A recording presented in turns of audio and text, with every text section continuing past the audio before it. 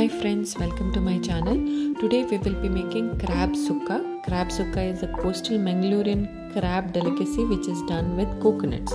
To make this, we require 500 grams of crab, 1 teaspoon chili powder, half teaspoon salt, half teaspoon turmeric, half lemon, half teaspoon ginger garlic paste.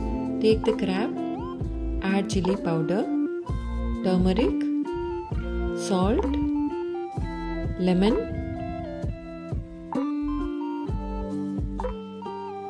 and mix it well to marinate it. Be careful when you mix it.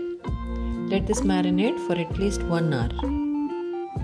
Now take 1 cup of coconut, 2 onion, 1 tomato, 1 teaspoon chili powder, half teaspoon mustard seeds, 1 teaspoon ginger garlic paste, 1 half teaspoon turmeric, 5 garlic, 2 tablespoon coconut oil, 10 curry leaves, 1 half teaspoon salt and 1 half cup of water. Heat a vessel, add coconut oil, add mustard seeds. Once they splutter, add garlic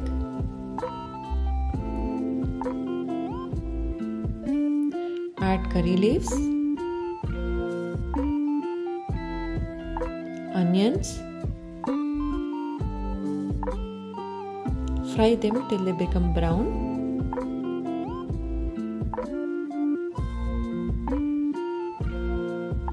Now add tomato.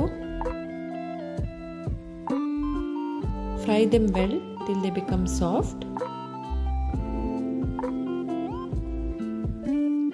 This will take at least 2 minutes. Add the ginger garlic paste. Fry this for 5 seconds to remove the raw smell of the ginger garlic paste. Add chili powder, salt, turmeric, coconut, and fry this well at least for 1 minute on high flame. Now add the water.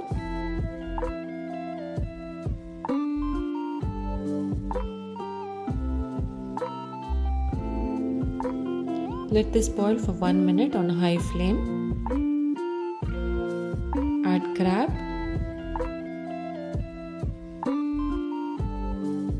Mix it well so that it gets coated with the coconut and the spices. Cover and cook for 5 minutes on high flame. After 5 minutes, just mix this well. You can also add coriander to it. Turn off the heat and your crab sukka is ready to serve.